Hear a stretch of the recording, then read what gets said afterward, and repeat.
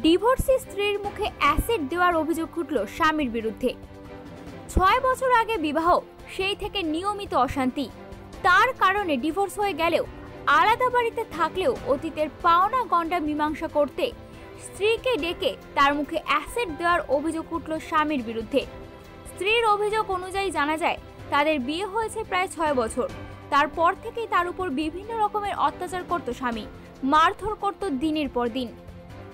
এই অত্যাচারের পরিমাণ বেড়ে যাওয়ায় স্বামীকে ডিভোর্স দেন স্ত্রী। তারপরেও স্ত্রীর বাড়িতে গিয়ে টিভি, ফ্রিজ সহ বিভিন্ন আসবাবপত্র ভেঙে ফেলে সেই জিনিসের দাম আদায় করার জন্য আজ দেখা করার কথা ছিল স্ত্রীর সাথে স্বামীর। কিন্তু সেখানে দেখা করতে গেলে তাকে প্রথমে গাড়িতে জোর করে তুলে নিয়ে গিয়ে সবার সামনে পকেট থেকে অ্যাসিডের বোতল বের করে স্ত্রীর মুখে ছুঁড়ে মারেন স্বামী।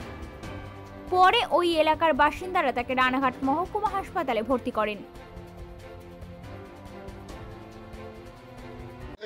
একটু একটু বলছি আপনাদের কাছে কি ছিল যে অ্যাসিড হামলা করল? কে করেছে আপনার? স্বামী। কি জন্য করেছে? কোর্টে এসেছিলাম। কি চলছিল আপনাদের মধ্যে? ডিভোর্স দিয়ে দিয়েছে জিনিসপত্রের জন্য এসেছিলাম। হ্যাঁ। জিনিসপত্র চাইতে এসেছিলেন? কোন কোর্টে এসেছিলেন? রানাঘাট। তখন কীভাবে হামলা করল? ও এসে জোর করে হাত ধরে গাড়িতে তুলেছে।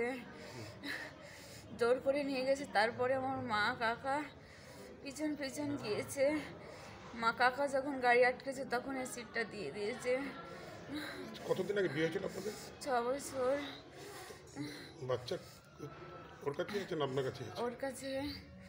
ও কি চাইছিল লাস্ট ও ভেবেছে ডিভোর্স দেবো না। আপনি কি চাইছেন এখন সৈফুদ্দিনের?